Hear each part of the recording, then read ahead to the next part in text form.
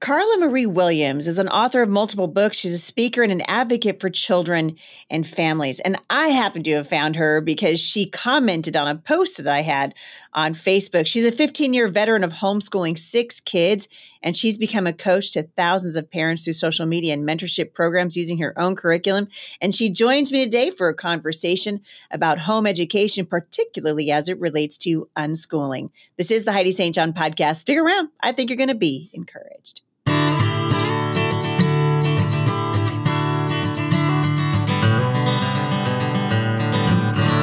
So, Karla, welcome to the show. I'm glad you're here. Thank you for having me.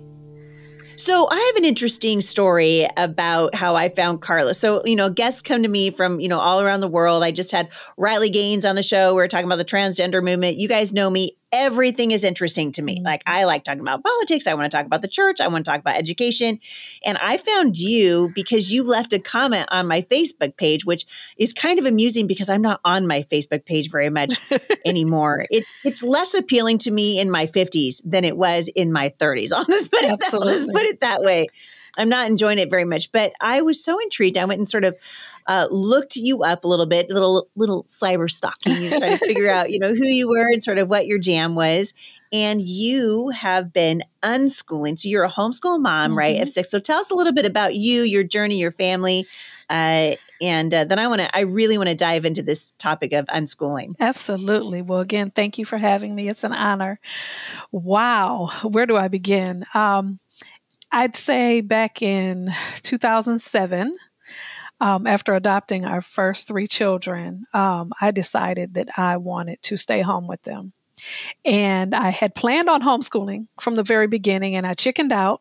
And we happened to have the, I I didn't I didn't know anyone that did it. Girl, I I relate. I wasn't supported by anyone around me. I was I was in the church. I was a minister in the church. Um, but all the women around me were working moms climbing corporate ladders. Yes. And so it was, you know, what am I going to have to talk about at dinner with my friends? I right. mean, I was really trying. Or am I even going to have any friends after this? Yeah. Right. Yeah. Yeah. I got you. right. Because they feel judged when you make an odd decision. Isn't know? that true? It's so true. Yeah, it is. so true. And so what what happened was I chickened out at the last minute and we were across the street where we lived at the time from the best elementary school in our city. So I'm like, why would I do this myself when right. all I have to do is just walk her across the street? Right. So right. I did that. And it's free. Right. right. Yeah. I know. and through you know, I had yeah, two kids home, you know, two little ones at home and she was starting and I we did that. 3 years and 3 schools later, it was like I can't do this anymore. Yeah. She needed one on one. Again, uh, we had adopted. She was three at the time, and her brother was two, and the and then I had the baby. They were all siblings, and so it was like she needs something different that a public school cannot offer. No matter what school we sent her to, she was going to need something different. Yeah. And so in the beginning, it was just an emergency, save my daughter mission, right? Yeah, yeah. Um, and so that was the goal. And then uh, eventually it just became a family thing where we did it with all three of the kids. And then seven years later, um, even though we were doing it for three and a half, four years, I hated it. Mm. My kids did not like it. My husband was tired of hearing me complain and crying in the corner when he got home because I was. Wait, wait, I I'm, gonna, I'm gonna stop you for a second because you just said something out loud that a lot of a lot of moms won't say out loud, and I've been saying it loud for a long mm-hmm. time. So whenever I hear a fellow truth teller, I'm like, "Whoa, stop! say it again." Your husbands, right. listen, women, lean in. Homeschool mom. Actually, you don't even have to be a homeschool mom. Just lean in, women. Your husbands don't like it when you're constantly complaining. They really oh. don't like it. There's nothing more. Uh, my husband used to tell me, sort of demoralizing, than to come home and have me just like nothing went good today. Everything's difficult. Right. You know, I hate and this. they're fixers. Yes. And so then he wants to fix it. And he's like, what can I do? And right. I'm like, there's nothing. This is just our life now. Right. It's very Eeyore-ish. Right. And pretty soon, absolutely. They're just like, I mean, how many dads have I talked to over the years who've said, I don't want my wife homeschooling anymore because she's miserable. I, she's miserable right. to live with. I don't like my homeschool wife, right? Right. Oh man. His answer, his answer at the time was send them back. And I was like, yeah, that's not happening. So yep. I have to figure this out and shut my mouth. Yes. And that's exactly girl, what I did. Yes. Come on. and Come so on. um we abandoned our carefully crafted, beautiful uh, basement classroom that had all the bells and whistles of a you know elementary classroom. The, um, the American flag is there, and the desks, yes. and the apple, the letters the on yeah, the wall, posters, everything. Yeah, I did the same thing. and so we we abandoned that for the backyard and the dining room Come and everything. On, the and then seven years later, when we decided to adopt three more, I said I hate what we're doing. And I cannot imagine having to do this with six kids. And so we just stopped. Mm-hmm. And we wanted to bond as a family of eight now, going from a you know family of five to a family and of eight. Your kids are all adopted, so you've yes. got 2 you've sibling got, groups like, of three. Wow, so you've got like relational work to do. You you know you're looking beyond just the education piece and going, we, Absolutely. we have to like form a family that's whole and healthy. Yep. We went from zero to three to six kids. yeah. And I'm so that's tired. why went, I need a nap. right. The, uh, the younger, the younger, th- or the older three were three, two, and three months. And the, when seven years later, we adopted a six, five, and three year old. Oh my word. And okay. so when the younger three came home, I had six kids under nine. And Girl. what we were doing, which was basically read a story, fill out a workbook, lather, rinse, repeat. And it was the most boring. It's so boring. ever. Yeah, there's no life in it. Yeah. no. Right. And I didn't realize how vast the homeschool, you know, world was. And actually I met you my first year of homeschooling in 2000 or technically homeschooling. Before that, we were learning at home, but 2009 at a um, INCH conference in Michigan. Oh my word! And I got I your book. Those guys in winter. I love those guys. Yeah. Yes, dude. Michigan. So are was, you still in Michigan? Yes. They are. They're trying to like, girl. You guys got some challenges to homeschooling right now. I know. Like legislation. we never have. We never have in the past. It's people been it's been almost to, like Texas. Golly, people need to pay attention. Like I keep saying, I y'all think that your freedom, that your homeschool freedom is just it's just there. And you're not right. paying attention and these guys are trying to take it from you. For real. Right. Yep. We have one year with my last, but I'm really concerned about present and future homeschoolers. Yeah, yeah, as you should be. Yeah. and so we you know, we stopped what we were doing. I had been looking at some unschooling type things online, and I was like, these people are out of their mind. They're crazy. There's no way. what is wrong with these parents? No structure. How irresponsible. You know, so crazy. And, um, you know, they came home in March of 2013, the younger three. And we were just like, we're done to the fall we need to bond as a family. Yeah, yeah. We have other more important things to to consider right now. Yeah. And, and so, that's your job as a um, mother. I love that you're sensitive to that because your job is to go, mm-hmm. oh, hey, we got bigger fish to fry right now. Yes, definitely. Yeah, yeah. And so um, that's what we did. My husband was in full agreement with that. And I started watching, you know, videos and reading blogs on unschooling and everything. And I'm like, oh, that sounds so free. That sounds so wonderful. But it was terrifying to even consider. It was terrifying to consider. Like a free fall. Yes, absolutely. Yeah, Especially because I'm, you know, what they would call a AAA personality. And so I'm thinking, you know, I'm like crossing T's and dotting I's and I want facts and I want numbers and Me I want, too, you girl. know. Yeah. And so yeah.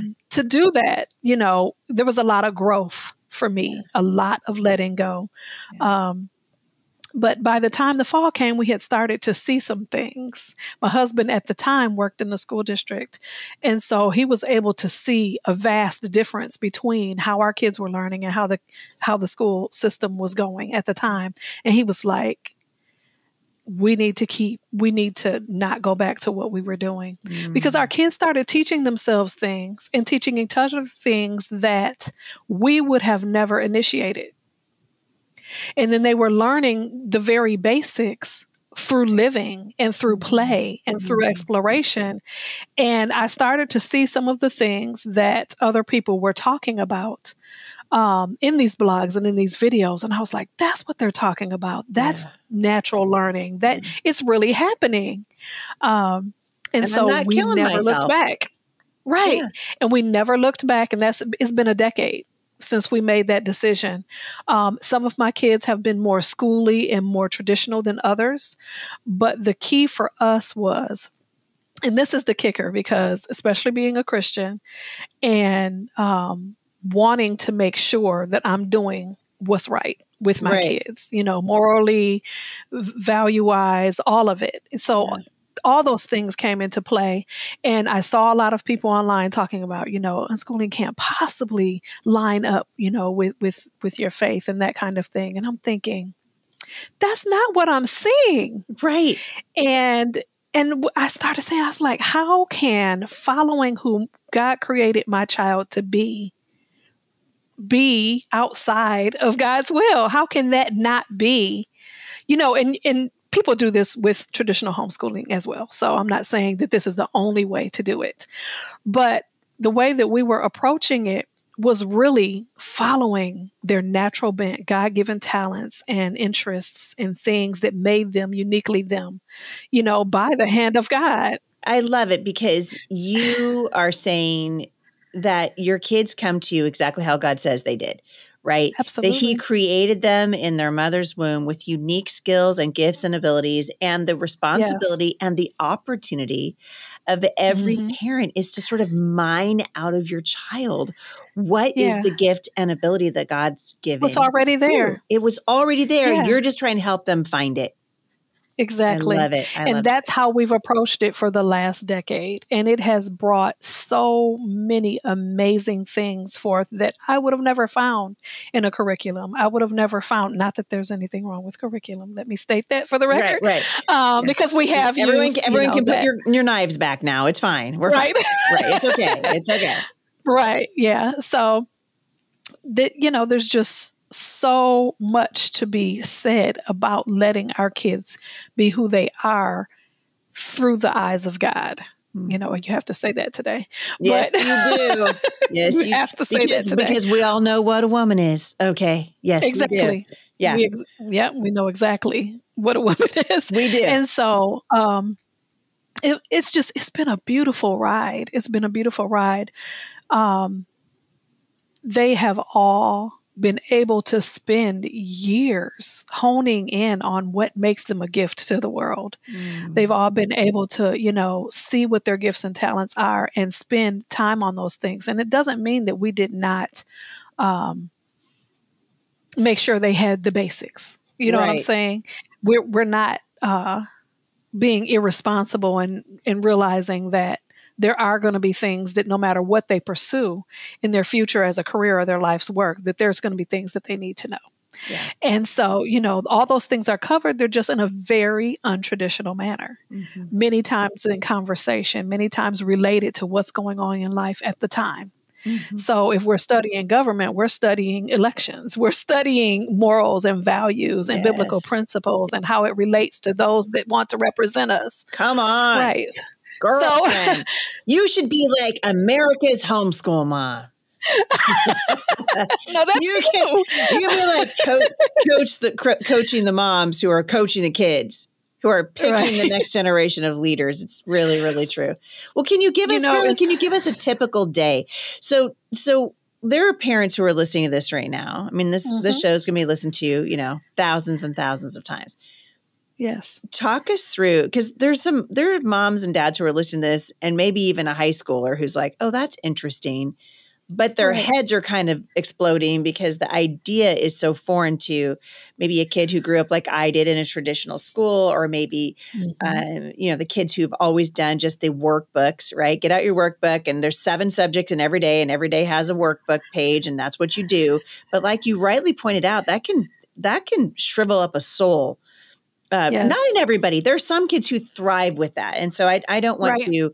Uh, I mean, I've had of all seven of our kids, some of them did great with workbooks, and some of them didn't. But t- walk us through a typical unschooling day. Yeah.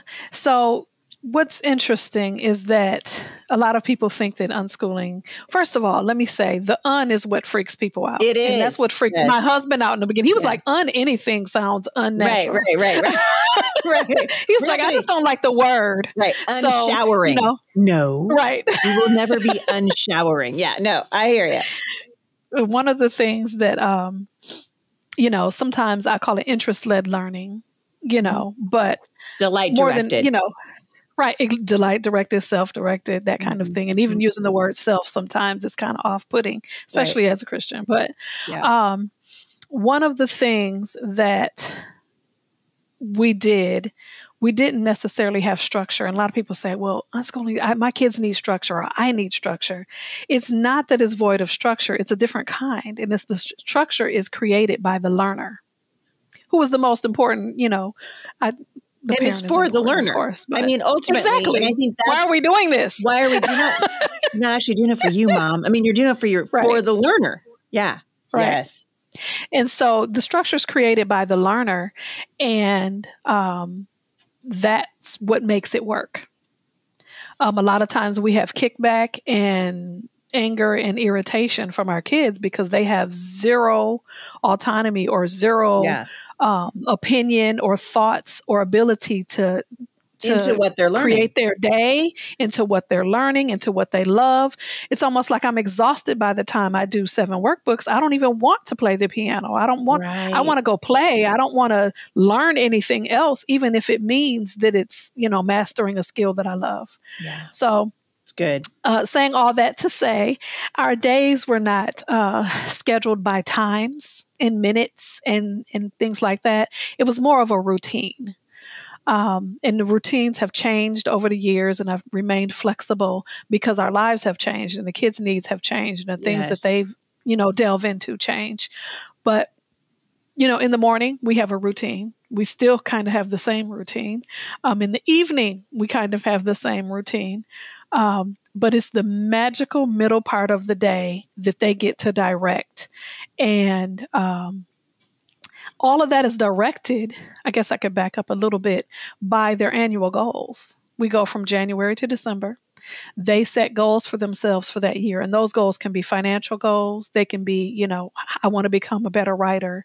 Um, I want to learn graphic design or um, whatever their goals are. And they can be from A to Z. And they don't have to be important to me, but they're important to them and then uh, dad and I determine, you know, what areas in which they could improve because maybe those skills like reading, writing, and living math are things that they're all going to need. Yes. And so we will add those to the goal list and then but they themselves will determine how they'll go about learning those things.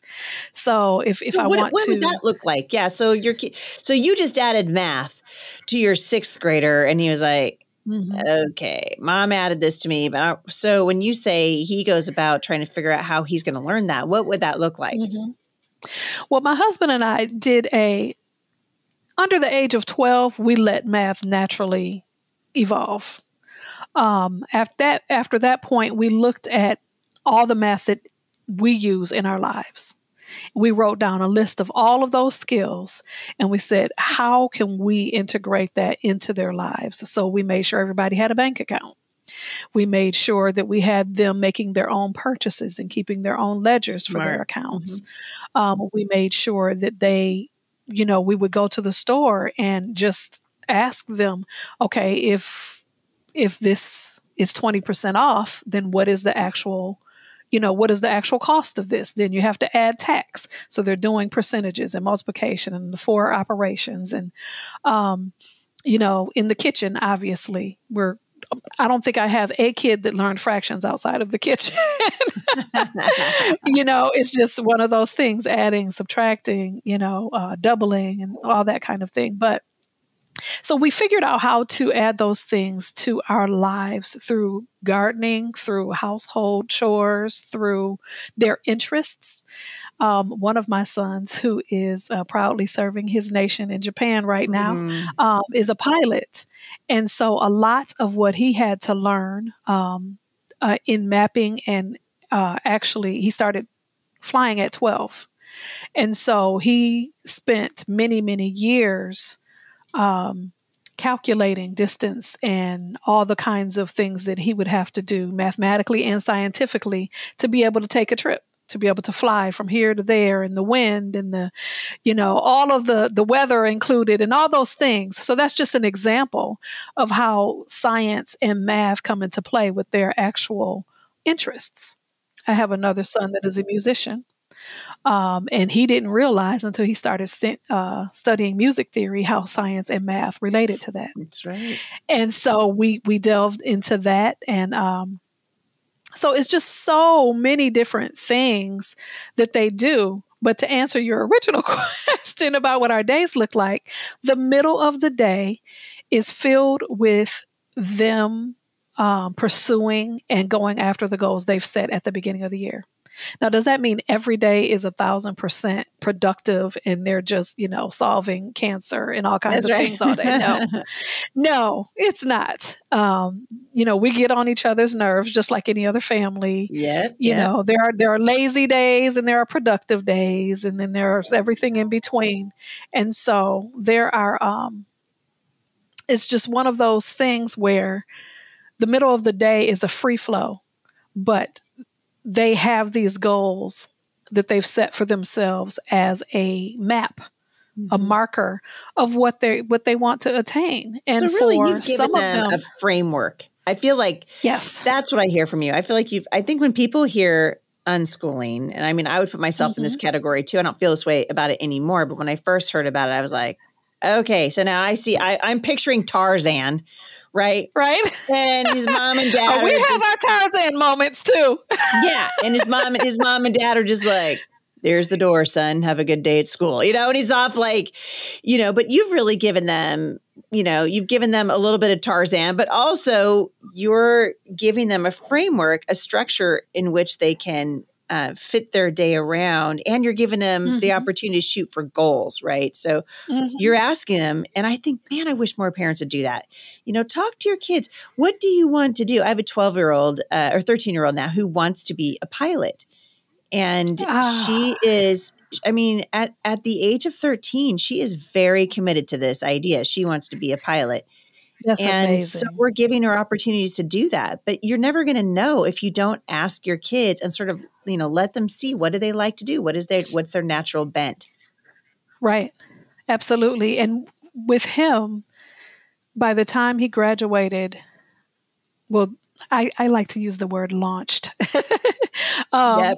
But by the by the time he graduated, he uh, he had his pilot's license, his student pilot's license. He had two certifications in avionics and aviation maintenance, and um, decided to hold off on college and went to uh, to work for a company designing computers and installing computers in private jets.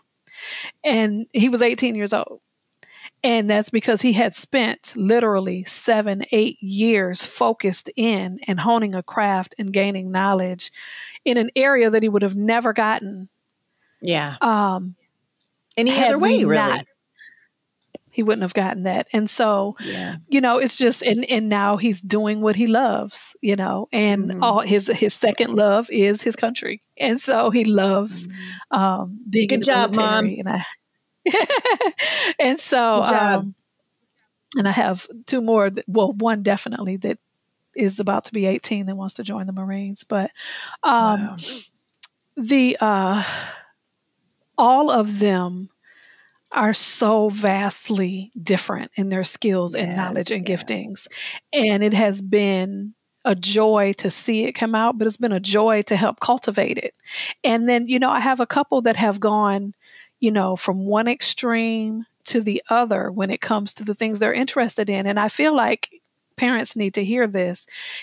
You, there is no amount of money, and hear me, we're not rich, but there's no amount of money or time or effort spent on something that's going to be wasted, even if you don't see it. Um, applying to their long-term life's work. It's they're it's going somewhere. It's all building upon something. So you may have a kid that's that's playing the piano for 10 years and suddenly they don't want to do it anymore. Mm-hmm. Don't feel like that was wasted time and effort and money. All of those skills outside of music, all of the skills gained during that experience are going to build upon something right. and go lead to something so else. Good. So yeah. Don't yeah. feel like, you know, there's this misconception that if, you know, with unschooling that you are um you know, hurry up and find out what your kid's calling is and then spend all of these years, you know, focusing on that. Mm-hmm. you're going to have some kids that know that they know and show a skill and aptitude for something very young. And you're going to have 18 year olds that are like, I don't know what I want right. And uh, both are normal. Yes. Both are normal. And your goal good. is to just encourage them as they go. Today it may be p- piano. Yeah. Um, tomorrow it may be aviation. The next day it may be graphic arts. But all of it is building. All of those skills are are leading to something, and you'll see eventually how they all play out. Um, so just don't be afraid to be flexible and don't get frustrated when your kid wants to change things up.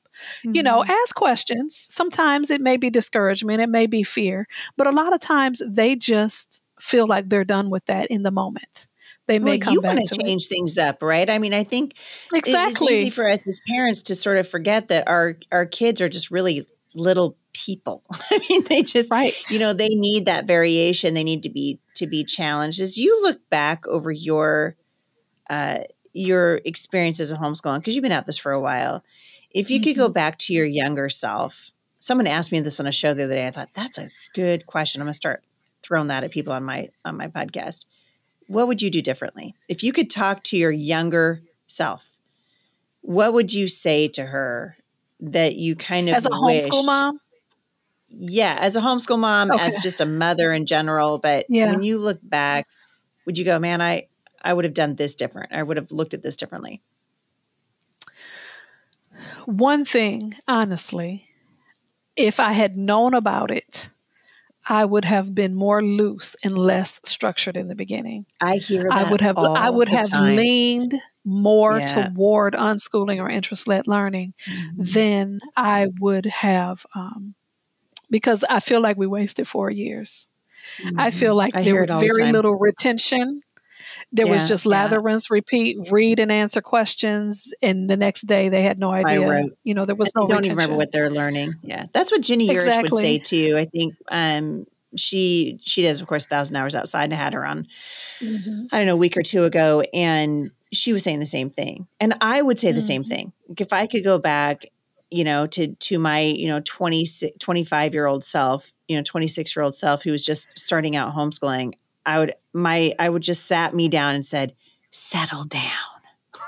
like, yes, calm down, relax, chill out, enjoy, calm down, relax, enjoy, get outside, and yeah, and it's hard, right? Because you want to do. I mean, the, the motivation behind the sort of uptight homeschool mom is, I want to do this right. So the motivation is good, but mm-hmm. sometimes mm-hmm. the outcome is that everyone's just stressed out and the homeschool mom is burned out and the kid's not loving learning. And that's so much of what we want to do right is help them love right. to learn. And you can't do that when you're just cramming workbooks down their throat you know what I think with with new homeschool moms as well is that I notice because I was this way and I see it in a lot of other people is that because we have so much pushback from those friends and family surrounding us that our goal is to prove them wrong. Yeah. And so we want our kid yeah. academically to shine you know, a thousand times over someone that's in a public school yeah, to say, yeah. see, this works. Yeah. So we spend so much time doing that instead of really enjoying our kids and figuring out who they are and what they have to offer the world. We're trying to get them to fit into a box and be better at the box checking. Yeah. than, so than being it's, who they are. Yeah. So it's so true. And I, I just wonder, you know, what would happen if we had more confidence and I think mm-hmm. that's a lot of what you're doing when you talk about just unschool because your kids are doing great. I mean, you're you know most of your kids are grown now and they're just doing great. And I I, I wish that moms that go into it, particularly now, you know, because my mm-hmm. generation, you know, so often I felt like I was really running to something. This generation of homeschool moms largely running from something. They need to know mm-hmm. that God's already gifted you. He's already equipped you. If He's called you, He's already equipped you, and mm-hmm. you can mm-hmm. do it. And you and you can do without stifling your child's love for learning. Absolutely. You know, and it's um unschooling has looked different. That's the beauty of it. I think people think that it's just throw out the curriculum and you know, take hands off. It's I've never been more hands on yeah. than when I was schooling my kids because I had to be I had to be tuned in mm-hmm. to who they are and mm-hmm. what they had to offer and those gifts and talents. And if you're not paying attention, things get past you. They fly under the radar and before you know it, you're like, I didn't even know that that was a talent of yours. Mm. An example of that is my oldest daughter. We were just, you know, everybody was going to be a math genius in our family. um, because I had the insecurity that I wasn't, and my husband is, mm-hmm. um, that I wanted everybody, you know, to master what mom failed so miserably at. And uh, not even realizing that she had a, um, she had dyscalculia number mm. one, and we didn't find that out for years. Oh, wow. We just thought she just didn't like it. She just hated math, like me.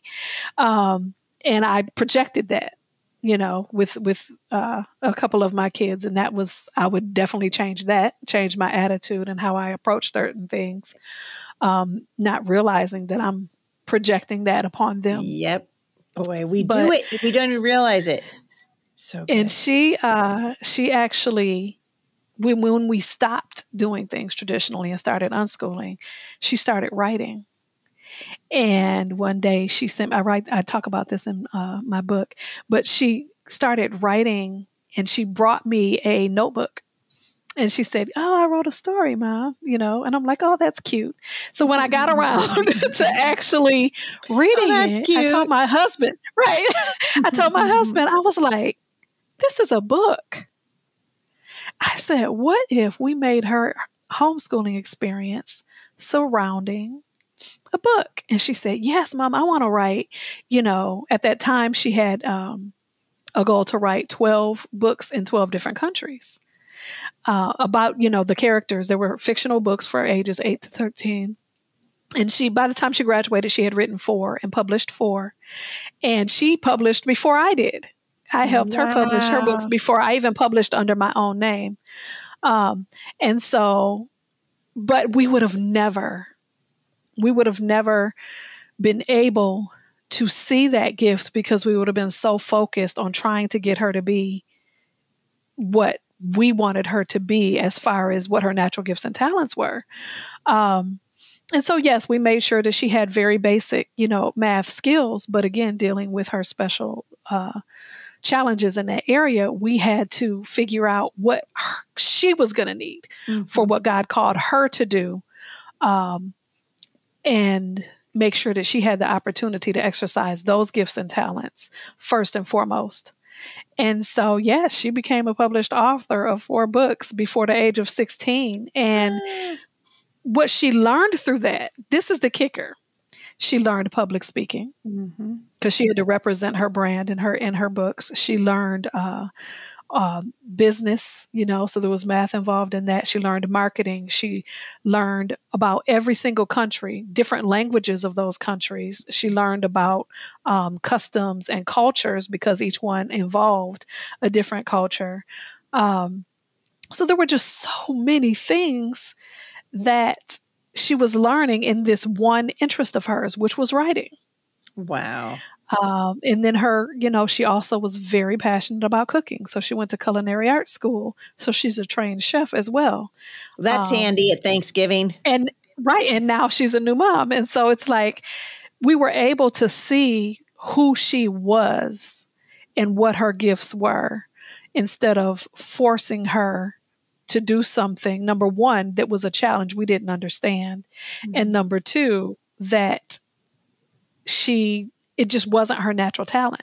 Mm. You know, I have other kids. My my kid that's 15 right now is challenging himself to do algebra and geometry. We're not forcing him to do that. It's what he wants. His older brother did the same thing.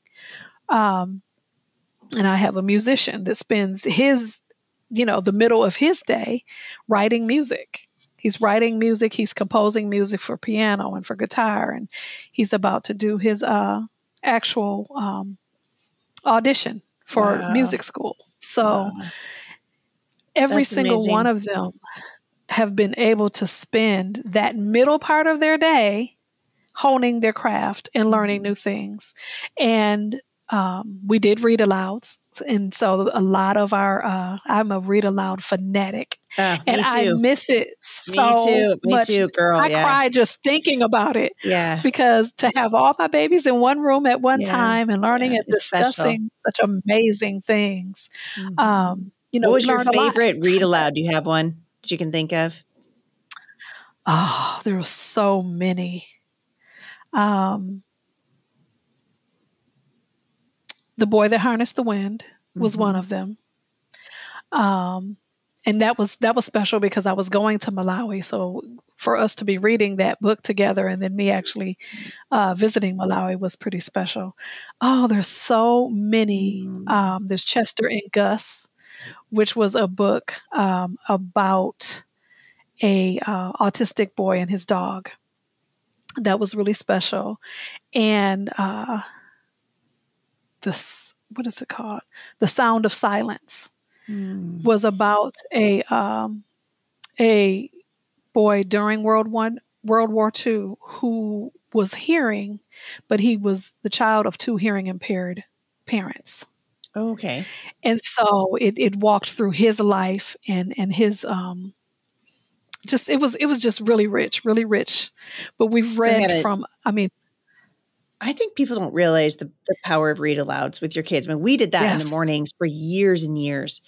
Uh, mm-hmm. Uh, and we loved it. Went through missionary stories with our kids, did tons of biographies. Yes. You know, I I think of just Red Sails to Capri, and I would like to sort of stop right when they were like leaning in, like, nope, guess we'll have to pick mm-hmm. that up tomorrow. You know, and some yeah. days we would we would stop, and it would give them this this just you know push to come back the next day, and then other days we'll go, you know what, we got time let's just finish the book today. Mm-hmm.